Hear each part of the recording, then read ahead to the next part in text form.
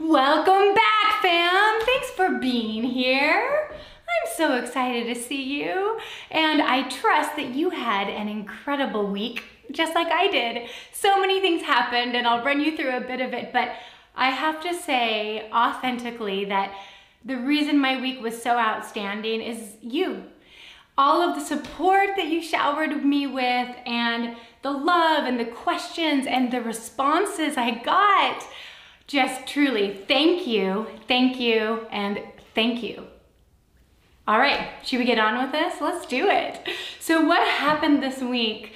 On Instagram, you probably saw, you couldn't miss it because as a doting mother, I had to just keep throwing it at you, but my sweet little baby turned three yesterday.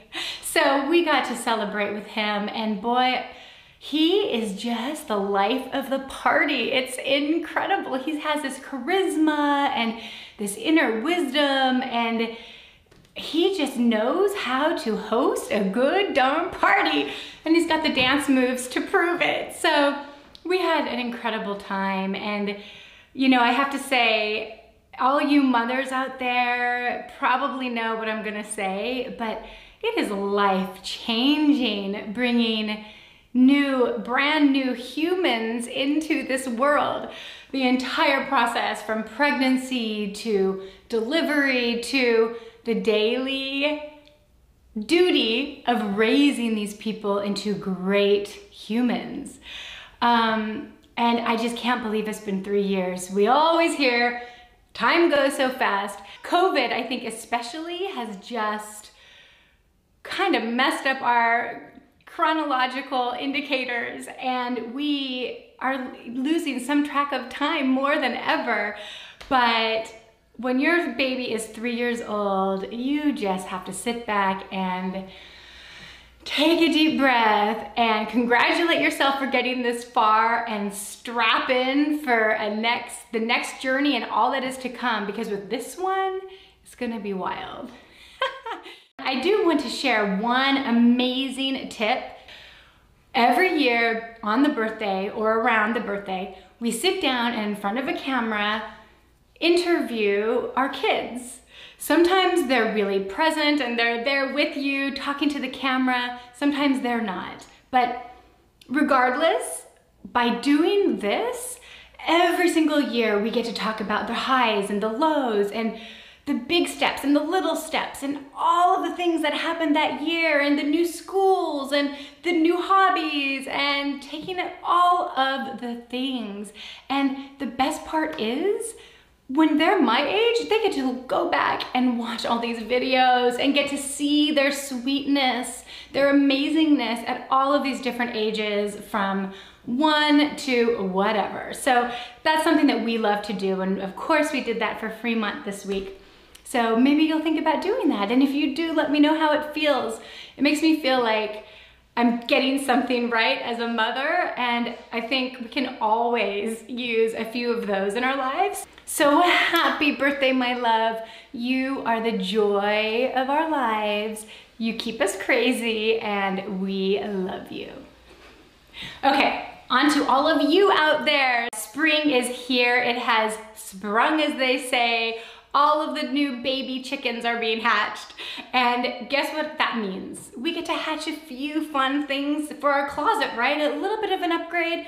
We don't want to spend too much, but we want to get the right pieces so that we're on trend for now and so that we just have a new invigoration of life, right? When we open up our closet. So color is the best way to do that for me. Most people know that I like to dress mainly in black and I let typically my hair color be the pop of color that all I need. But this year, guys, I know you've seen this, but it, the 80s are back.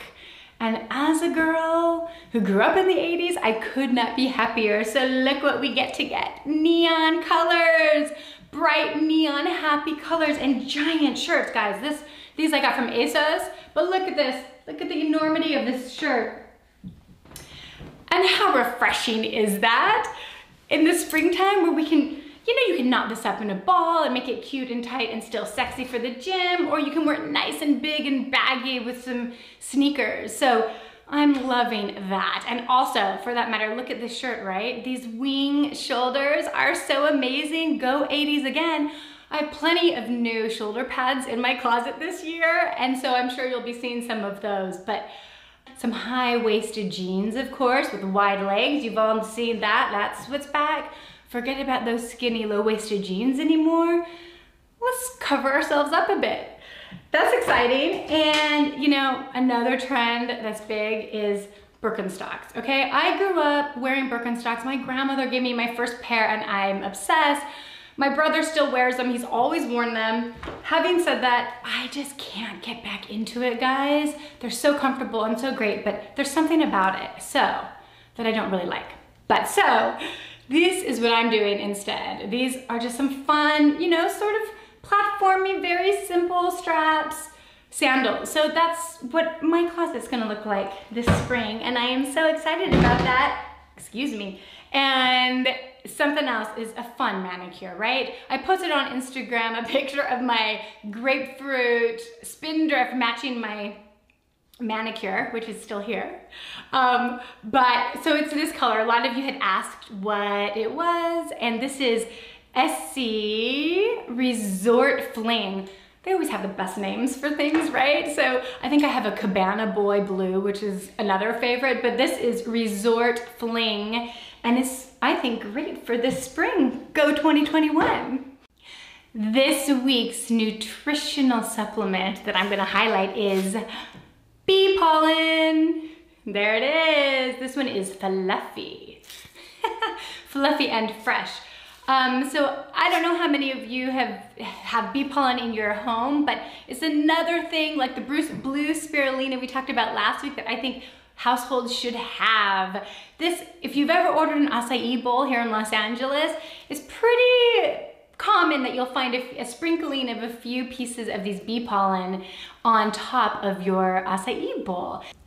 I just think people should have bee pollen in their home. It's not hard to get. I picked this up at Whole Foods in the refrigerated section. But what is it good for, you ask? well, it's an antioxidant, great. It is an anti-inflammatory, amazing. It boosts liver function, fantastic. It also boosts your immunity, yes please. And it may even help with menopausal symptoms like hot flashes. So guys, let's get this. You can just sprinkle it on your oatmeal or your yogurt, put it into shakes, or just literally eat it off of a spoon. So easy to take, beneficial, doesn't cost a lot, and I hope you'll start incorporating it into your nutritional toolbox. Okay guys, so on to Q&As. Again, you came at me from so many places and it was great. Thank you for that. Keep it coming. Um, and this time you actually gave me names and sometimes even where you live, so I get to share that with you. Yay, score. So the first question is from Jade. Do you have any pointers for a new yogi? Well, Jade, I do. Yoga is an internal practice. Let's just get that out there right away. Yoga is about working from your inside out, as so many important things are in life, but that's for another episode. So, when you're preparing yourself to go into that yoga studio and you're putting on your cute, comfortable outfit and you're preparing your mind to be with a bunch of people in a room, getting sweaty, challenging yourself. My biggest tip is to let it all go. Let the outside world, let all of the distractions, let those around you go and be with yourself. Be there and get what you want and what you need for that moment. It's gonna be different in each moment. It's for sure different each day or each week. So what is it that you need in that moment, in that class, on that mat, right then, now? What do you need and go get it. You know, as someone who is admittedly pretty competitive, um, and I'm blessed, you know, I grew up dancing ballet, and so I'm blessed with a naturally flexible body. And so, Yoga is an amazing activity for me, but only when I'm practicing from inside.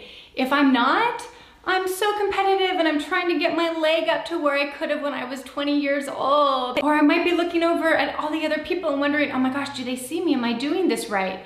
It is so ridiculous. And this is, this is to me the reason yoga is the one of the most important practices, one of the most important physical activities that we can do because it forces us to go within. I've said it again. Yoga is about inside, not outside. But yes, with consistency, the more you show up, you will see things change from the outside. You will see your shape change. You will see your flexibility increase. You will see your strength. You'll feel your strength. So, number one, Jade, welcome to the Yogi Club. Very happy you're here. And please enjoy your practice. Make it your practice, no one else's. Even if your instructor is up there shouting out different poses and it doesn't feel right for your body that day, guess what? You're not gonna do it. You're gonna do what's right for you right then. And that's it, okay? So I hope that helped a bit and you can tell I feel passionate about this. And again, it's it is such a mind exercise, more so than many that you can take on. And that means that you like to challenge yourself. So that is an incredible thing. Congratulations. All right, Jade.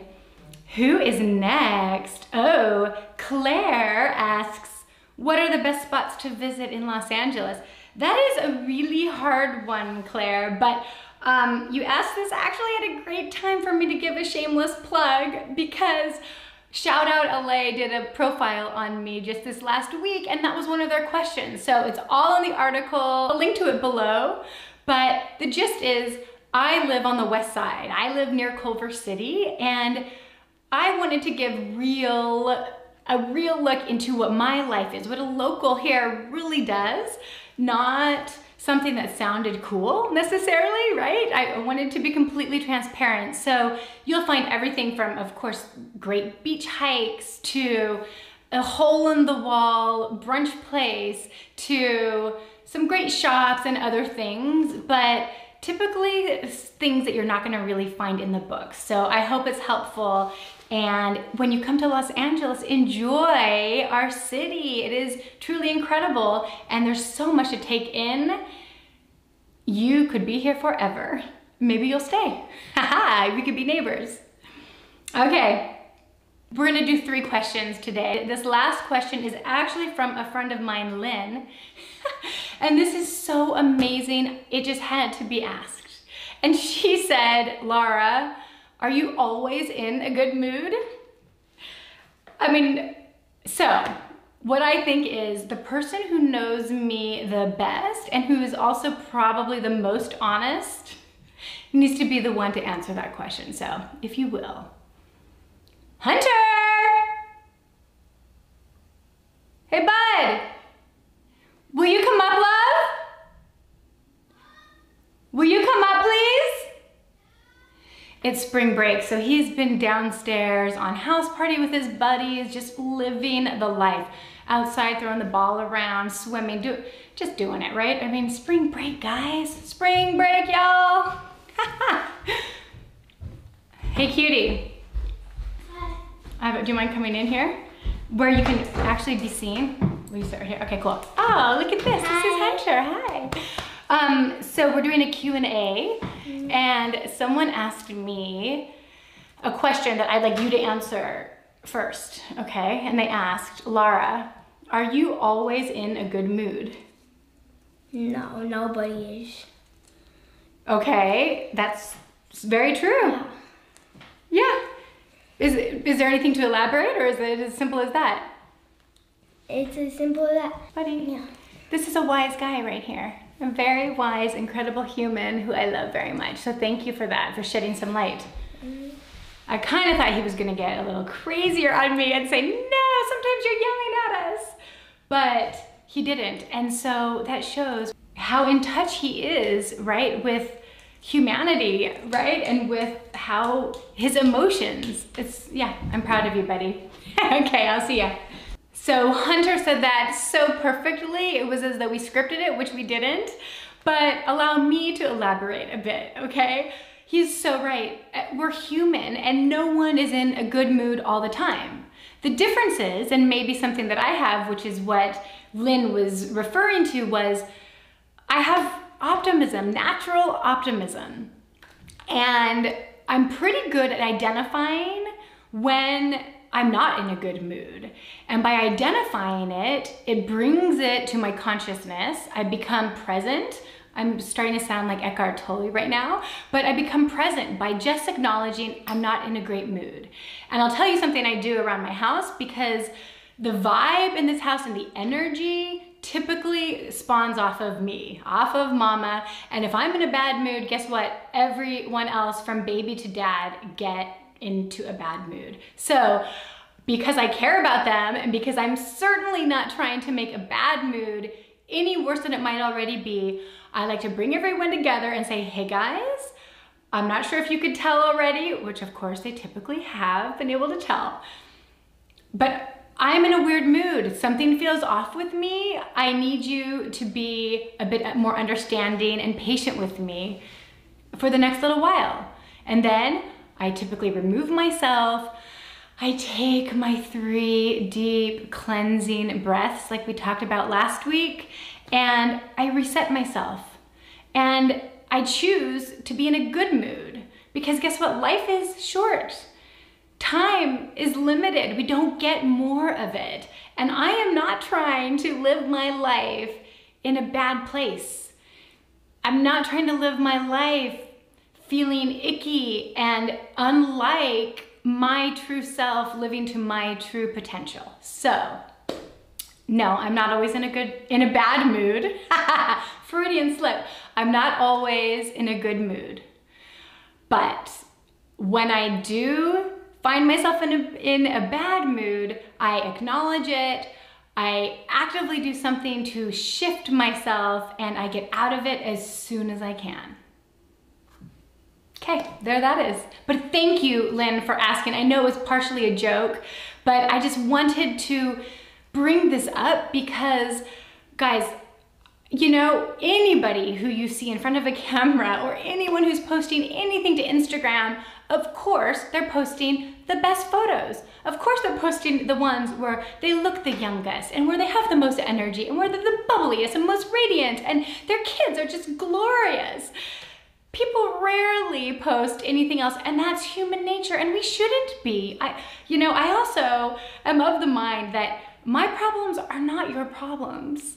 My problems are something for me to deal with. It's my challenge in the moment to help me grow. You don't have to have anything to do with that. So actually there is a pretty funny story that i'll just bring up because oh gosh i must have been about 10 years old and I was skateboarding out in front of my childhood home and I had a crazy fall to the point where my both knees were skinned and like bloody and there was gravel, you know, like in the open wounds and all of the things. I'm, I'm certain, oh, my palms, same thing. So ah, I'm out there in front of the house by myself and a neighbor comes up and says, Oh my goodness, are you okay? They had just come out of their house and seen me on the ground. And in that moment, I could have cried and screamed and done all of the things that might be your first instinct. But do you know what I did? This tells you who I am. I looked up and I said, I'm fine, how are you? Have a great day. And they turned on their way and said, okay, you too.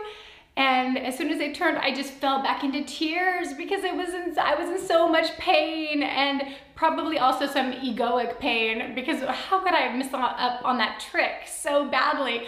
But there it is, right? I, it wasn't their problem. They couldn't do anything to help me. It wasn't their responsibility to make me feel better. That is my responsibility. The only person who can make myself feel better or feel bad is me. So guess what? That's just the way I sort of live life naturally and and that has helped me in countless ways. Countless. So there it is. Lynn, thank you. for letting me say all of that with your question. I appreciate it. And I love you. I miss you.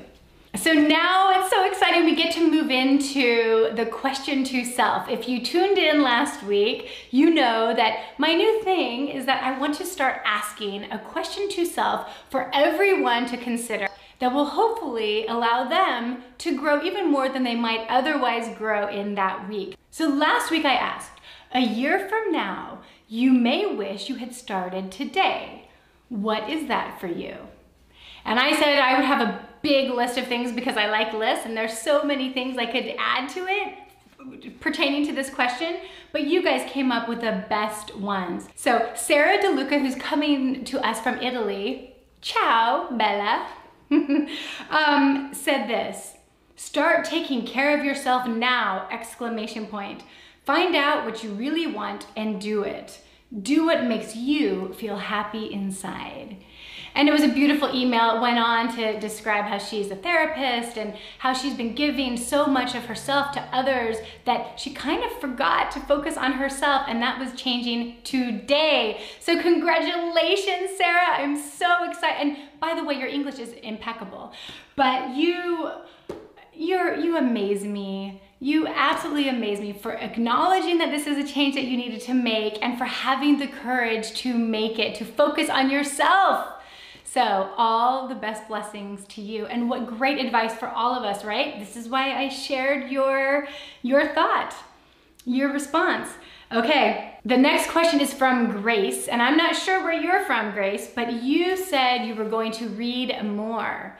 And that is one that is for sure on my list. So, you know, I'm with you. It's a challenge when life is busy, and I'm not sure if you have other people to take care of and to make sure they survive the day, but life is busy, and I don't even have time really to watch any of the great Netflix, although on occasion I'll go ahead and binge something like Bridgerton for sure. Shout out to Shonda.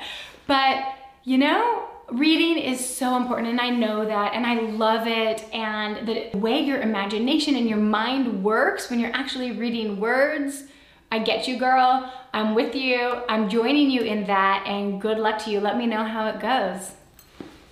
And finally from Shannon she says more self-care. Eating healthy getting outside doing more small things for people. Ah and I love that. Those are three incredible things right there. I mean, eating healthy, yes, yes.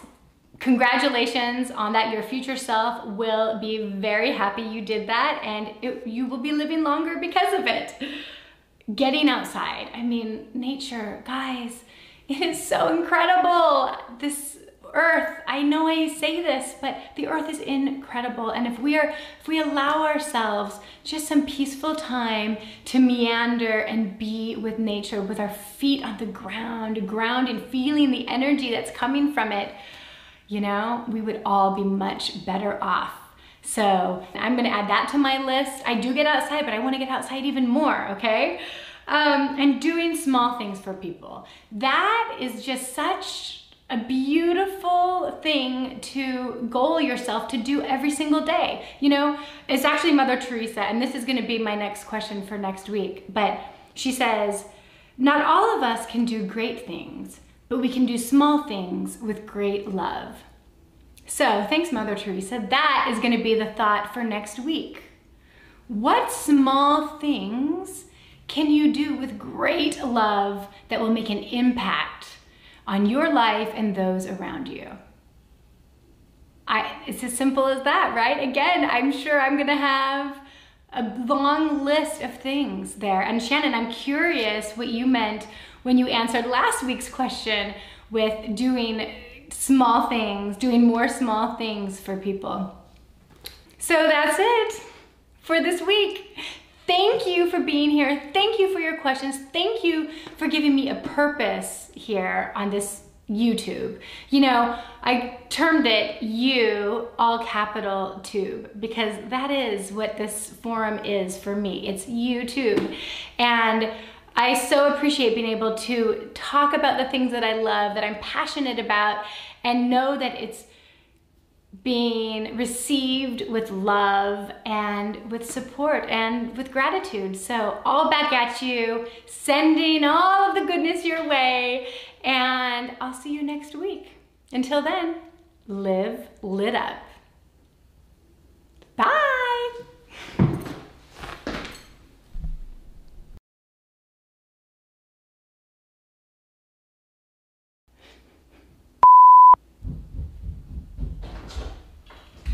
No, thank you. Snack time.